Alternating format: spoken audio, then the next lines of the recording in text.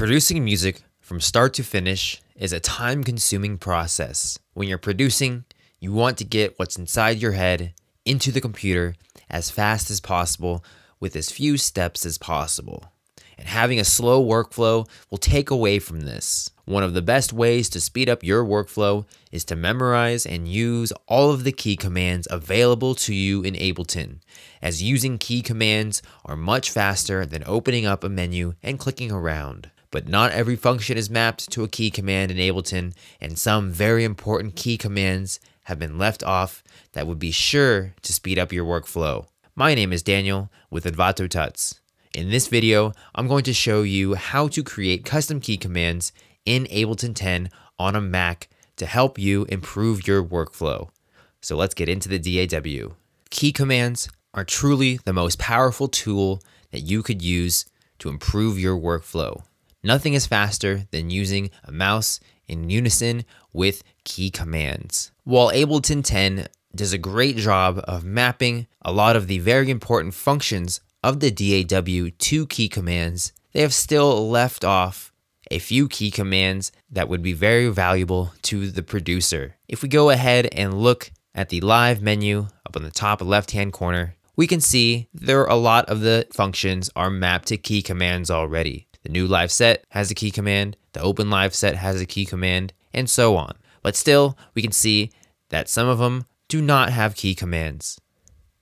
Most notably, some very important functions that are left off are the freeze track, the flatten, the extract grooves, the slice to new MIDI track, the convert harmony to new MIDI track, convert melody to new MIDI track, convert drums to new MIDI track, insert time signature, and add locator, Ableton has not mapped these functions to specific key commands because they have felt that they are not the most essential. But when it comes to key commands, it is really about personal preference and finding out what works for you. So for the functions that do not have specific key commands mapped to them, we can create them. So for this example, we're going to create the custom key command for the freeze track and flatten menu options. To do this, we're going to go into our computer's system preferences. Then we are going to head on over to the keyboard and then go on over to shortcuts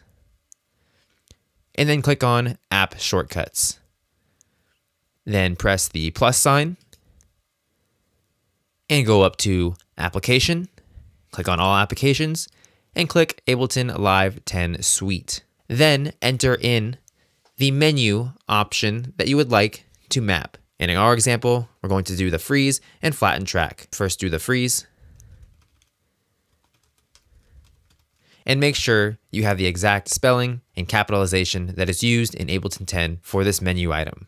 Now it's time to add in the keyboard shortcut. You'll want to add in a keyboard shortcut that is not already used by Ableton, as our custom key command will not work if we use a key command that is already used by Ableton. You can browse through a list of all the used custom key commands on the Ableton reference manual. I have put a link to the reference manual in the tutorial. One key command that is not used is the command shift equal sign. So just type in the shortcut and click add. And we also wanted the flatten menu option.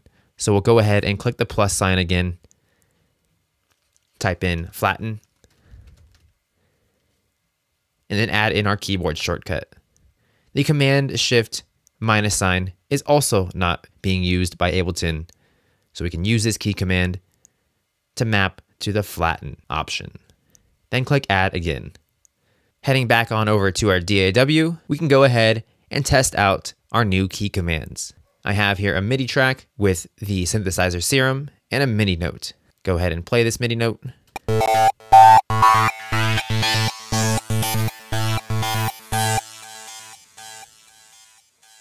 So we're going to go ahead and freeze this track. going to use the command shift equal sign to do this.